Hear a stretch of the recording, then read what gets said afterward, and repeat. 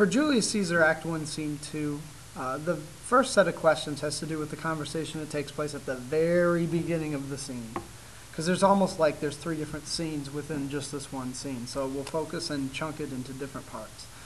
For video one, we, we're going to focus on the background information, the Feast of the Lupercal. That is what's actually happening when the scene starts.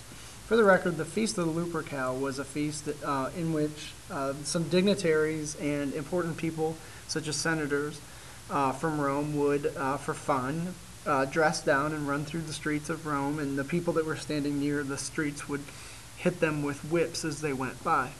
Uh, clearly, uh, good old time. In this scene, uh, Mark Antony is getting ready to actually run in that race.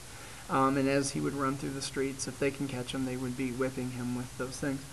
You know, they also believe that the winner of the race, or people that ran in the race, if they touched uh, a female that was sterile or unable to have kids, they would be able to uh, cure them of their sterility. So that was one of the Roman beliefs. Clearly, it's not um, religious, or I shouldn't say that it's not that it's religious, but rather that it's untrue.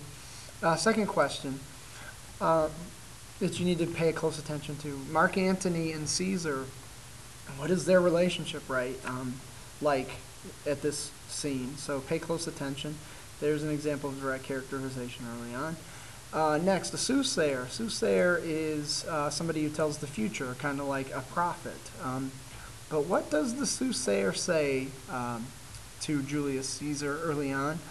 And the Ides of March, just in case you are wondering, is uh, the date of March 15th, the halfway point of March, and in history was is celebrated as the day upon which uh, Caesar was uh, stabbed to death. So you'll need to know these four things, or you need to be looking for these types of things and asking these questions as you go through the very beginning of the act.